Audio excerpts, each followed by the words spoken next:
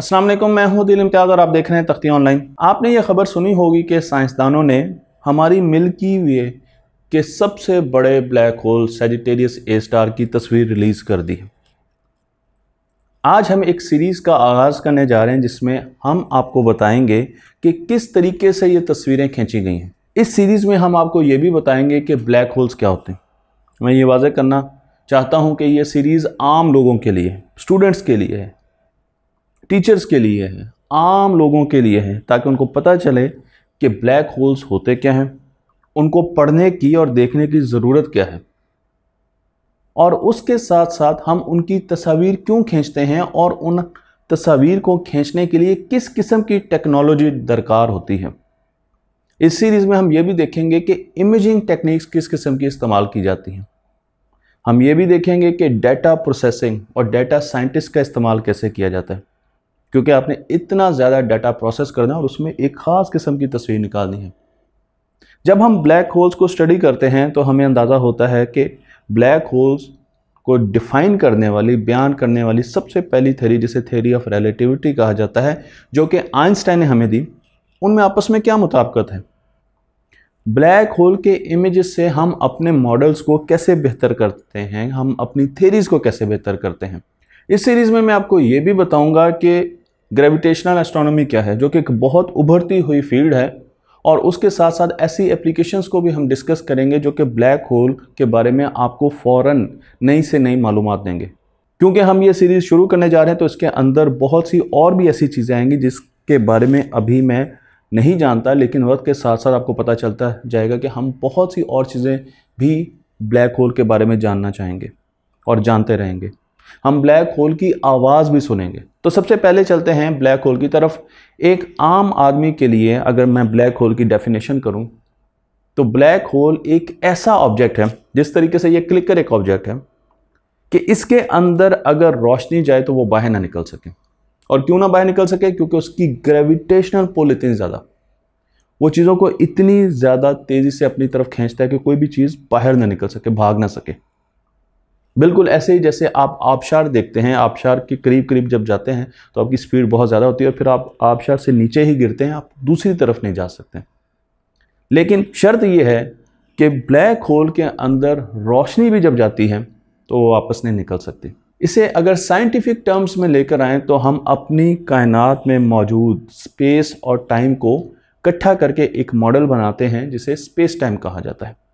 सबसे पहले ये मॉडल हमें आइंस्टाइन ने दिया तो आपने स्पेस यानी एक्स वाई जेड उन सबको सिंपल करके एक डायमेंशन बनानी है और टाइम की एक डायमेंशन तो मैं आपको यहाँ पर एक दो डायमेंशन की चादर दिखा रहा हूँ आसानी के लिए सिंप्लिसिटी के लिए।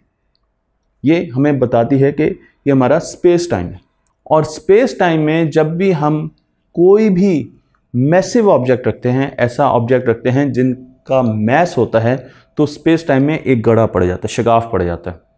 अगर ऑब्जेक्ट का मैस थोड़ा होगा तो छोटा शिगाफ होगा, अगर ऑब्जेक्ट का मैस बड़ा है तो बड़ा शिगाफ होगा।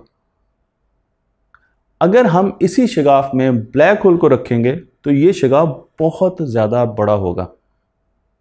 अब दोबारा हम आते हैं ब्लैक होल की डेफिनेशन की तरफ़।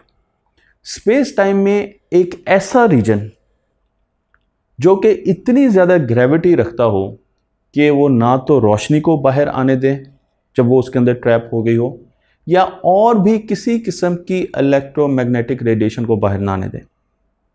मैटर को बाहर ना आने दें। किसी किस्म के पार्टिकल को बाहर आने ना दें। गर्ज ये कि ब्लैक होल एक ऐसा रीजन है जहाँ ट्रैफ़िक एक तरफा होती। अंदर की तरफ़ तो जा सकती है, लेकिन अगर हम बड़ी लेवल पर देखें तो बाहर की तरफ़ ट्रैफ़िक नहीं है एनआरवी है सिंगल साइडेड ट्रैफ़िक हो सकती है। जब हम ब्लैक होल को मेयर करने की बात करते हैं तो हमारे पास कुछ यूनिट्स भी होने चाहिए। और यूनिट्स ऐसे होने चाहिए जो कि पूरी खला में स्पेस में एक जैसे हों। चले, हम इमेजिन करते हैं कि हम वज़न में चीज़ों को नापना चाहते हैं ब्लैक होल्स को नापना चाहते हैं। लेकिन वज़न के बारे में हमें पता है कि मैस इनटू ग्रेविटेशनल फोर्स अब ग्रेविटेशनल फोर्स ज़मीन पर ज़्यादा है, लेकिन जैसे जैसे हम ज़मीन से दूर जाएँगे ग्रेविटेशनल फोर्स आहिस्ता आहिस्ता कम होती जाएगी। इसका मतलब ये है कि मेरा वज़न भी ज़मीन के ऊपर तो ज़्यादा होगा, लेकिन ज़मीन से जो ही मैं दूर जाऊँगा, मेरा वज़न कम होता जाएगा। तो वेट तो एक वेरिएबल है जो कि पूरी स्पेस में डिफरेंट वैल्यूज़ दे रहा है, और उसकी वजह यह है कि जहाँ जहाँ ग्रेविटी ज़्यादा होगी, वहाँ पर वेट ज़्यादा होगा, और जहाँ जहाँ ग्रेविटी कम होगी, वहाँ पर वेट कम होगा। फिर हम कौन सा यूनिट लें? हम्म अगर हम मैस को लें मैस ज़मीन पर भी उतना ही होगा मेरा जितना कि मैं स्पेस में हूँ। तो मैस एक कांस्टेंट क्वांटिटी है और वो हर जगह पर एक जैसी रहती है। इसलिए ब्लैक होल्स को नापने के लिए हम मैस का इस्तेमाल करते हैं। एक यूनिट एक पैरामीटर मैस भी है। लेकिन ब्लैक होल तो साइज़ में बहुत बड़ा होता है। तो इसे किस यूनिट में मैस को किन यूनिट में हम इस्तेमाल कर सकते हैं? इसके लिए हमने अपने सबसे करीबी स्टार की मदद ली है जो कि है सूरज। सूरज को हमने एक यूनिट सूरज के मैस को हमने एक यूनिट बयान किया है। और मैं आपको उसकी सिंबल भी दिखा रहा हूँ। ये एक सोलर मैस है। तो अगर ब्लैक होल तीन सूरजों के बराबर है तो उसका मैस थ्री सोलर मैसेस के बराबर होगा। और अगर ब्लैक होल उससे भी बड़ा है तो वो उतने ज़्यादा मिलियंस ऑफ़ सोलर मैसेज के बराबर होगा। तो ये एक पैरामीटर है जो कि हमने याद रखने के, कि हमें इसकी ज़रूरत बार बार पड़ती जाएगी। ब्लैक होल मुख्तलिफ़ किस्म के होते हैं। मैं आपको यहाँ पर ब्लैक होल की तीन मुख्तलिफ़ किस्में दिखा रहा हूँ। इसके अलावा भी किस्में हैं, लेकिन ब्रॉडर कैटेगरी में अगर ज़्यादा जनरलाइज करके देखा जाए तो हम तीन किस्म की कैटेगराइजेशन कर सकते हैं ब्लैक होल की। Number one super massive black hole. Sagittarius A star एक सुपर मैसिव ब्लैक होल है। Number two intermediate black hole. और number three stellar black holes. ये तीन किस्में हैं। इनमें सबसे जो छोटे ब्लैक होल्स होते हैं, वो स्टेलर ब्लैक होल्स होते हैं। तो मैं आपको यहाँ पर स्टेलर ब्लैक होल्स के बनने की तरकीब दिखा रहा हूँ। ये ब्लैक होल्स बनते हैं सूरज से, सितारों से। हमारा सितारा, हमारा सूरज, जो हमारे सोलर सिस्टम का सूरज है, वो एक बहुत ही छोटा स्टार है। इसलिए जब वो ऐसा ऐसा बुरा होगा तो वो रेड जाइंट बनता जाएगा और फिर वो ग्रेविटी के अंडर क्लैप्स करेगा। यानी उसका फ्यूल ख़त्म हो जाएगा ग्रेविटी तो उतनी है तो ग्रेविटी के अंडर वो क्लैप्स करेगा और वो हमें दे देगा एक वाइट डॉर्फ लेकिन जो बहुत बड़े सूरज होते हैं, वो आहिस्ता आहिस्ता जब बूढ़े होते हैं, अपनी उम्र के आखिरी समय पहुँचते हैं तो वो मैसिव रेड स्टार्स में बदलते हैं। इन्हें रेड सुपर जाइंट्स कहा जाता है। और फिर एक धमाके के साथ वो फटते हैं, जिसे सुपरनोवा कहा जाता है, और उसके बाद वो हमें न्यूट्रॉन स्टार भी देते हैं, और एक अदद ब्लैक होल भी मिलता है। ये black hole stellar black hole कहलाता है, और इसका जो मैस होता है, वो पाँच सोलर मैसेज से लेकर कई दसियों सोलर मैसेज तक हो सकता है। यानी एक छोटा सा ब्लैक होल होता है। लेकिन हमारी गैलेक्सी में तो 100 बिलियन सूरज हैं, यानी सितारे हैं। हम अपने प्लेनेट से अगर बाहर की तरफ़ जाएँ तो हमें अपना सोलर सिस्टम नज़र आता है। इस सोलर सिस्टम में एक सूरज है और कुछ प्लैनेट्स उसके गिर चक्कर लगा रहे हैं। लेकिन अगर हम इससे भी ऊपर उठें और दूर जाएँ तो हमें और सोलर सिस्टम्स भी नज़र आना शुरू हो जाएँगे। अब हम अपनी गैलेक्सी को देख रहे हैं, जो कि मैं आपको तस्वीर में दिखा रहा हूँ।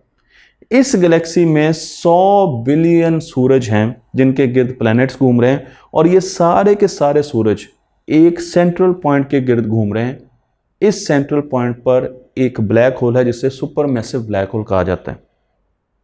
तो जब इतने ज़्यादा सूरज हमारी गैलेक्सी में, हमारी कहकशा में, मिल्की वे में मौजूद हैं तो वो यकीनन बूढ़े भी होते हैं और फटते भी हैं, सुपरनोवा भी होता होगा black holes stellar black holes भी बनते होंगे।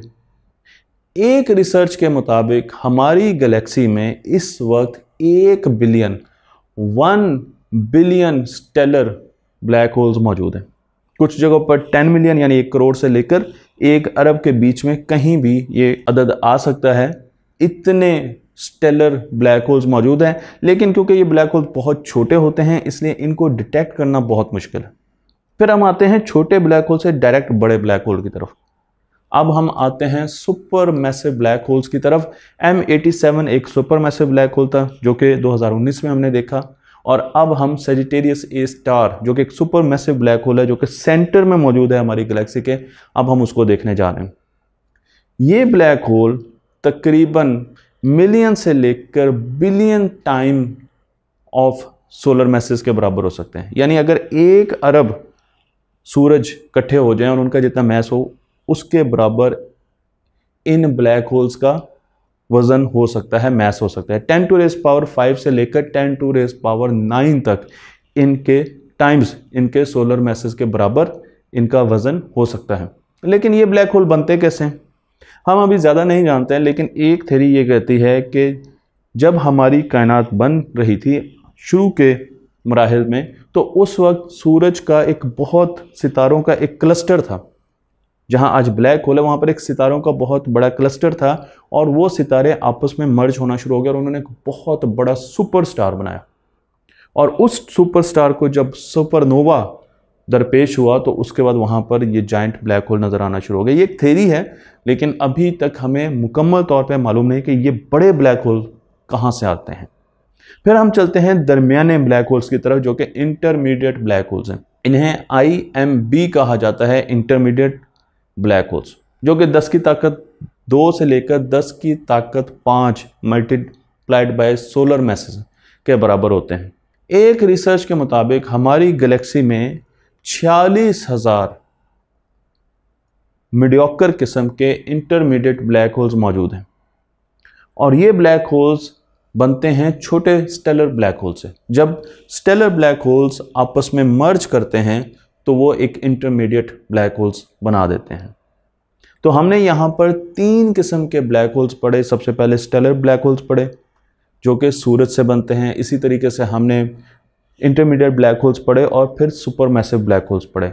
इन तमाम ब्लैक होल्स की एक ख़ास चीज़ ये है कि इनमें से रोशनी वापस नहीं आती। तो फिर हम कैसे जो बड़े बड़े ब्लैक होल्स को हम देख रहे हैं, यानी हम सुपर मैसिव ब्लैक होल्स को अभी देखने की और उनके इमेज लेने की कोशिश कर रहे हैं, जिसमें हमें कामयाबी हुई है, हम किस तरीके से उनके इमेज ले रहे हैं, जबकि उनमें से तो रोशनी वापस ही नहीं आती। इसके लिए आपको ब्लैक होल की अनाटोमी के बारे में भी जानना होगा और पढ़ना होगा, जो कि मैं आपको अगली वीडियो में बताने जा रहा हूँ। तख्ती ऑनलाइन को लाइक कीजिए शेयर कीजिए और इस इल्म को दोस्तों तक पहुँचा दीजिए।